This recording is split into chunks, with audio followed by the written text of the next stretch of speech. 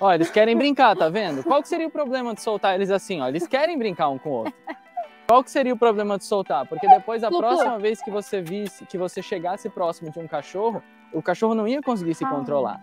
E a primeira, a primeira etapa que a gente tem que ter quando está socializando um cão é justamente fazer ele se controlar e fazer ele tolerar, fazer ele ignorar aquele estímulo. E normalmente as pessoas quando vão introduzir, né, socializar um cachorro que ama cachorro, acha que tá ok e já deixa ele interagir, deixa ele latir, deixa ele ficar maluco.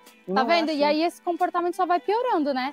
Ele que tá querendo ir desse jeito e a Luna latindo desse jeito e a gente solta, na próxima vez vai ser pior.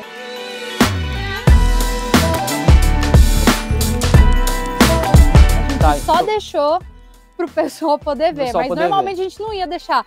Olha aqui como ele tá. Não, é só é. para vocês entenderem. É, tá? Aí qual que é o problema? Plutou. O problema é que se a gente deixa os cachorros interagirem dessa forma, tá. na próxima vez que rolar qualquer coisa assim, ele vai ver o cachorro e vai querer reagir, vai querer chegar perto, vai querer interagir. E na maioria das vezes, por exemplo, os dois cachorros estavam latindo, mas eles não são reativos, eles estavam querendo interagir, não tem nem reatividade de frustração nessa situação.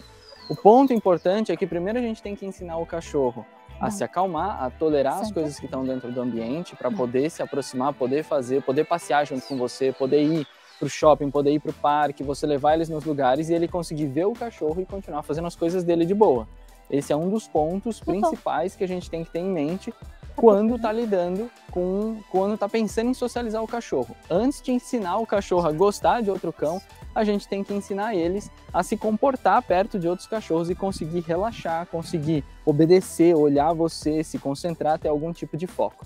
E, e não vai... tem problema o cachorro brincar. A gente não, não tem nada contra do cachorro brincar. A gente não gosta de brincadeira sem controle nenhum, né? Igual a, a mãe, a avó, a tia falava assim quando vocês estavam brincando com seus primos. Ó, oh, essa aí briga, essa brincadeira de mão aí. E com cachorro também acontece, né? Alguém fica de saco cheio uma hora e por mais amigável que seja, pode rolar um desentendimento.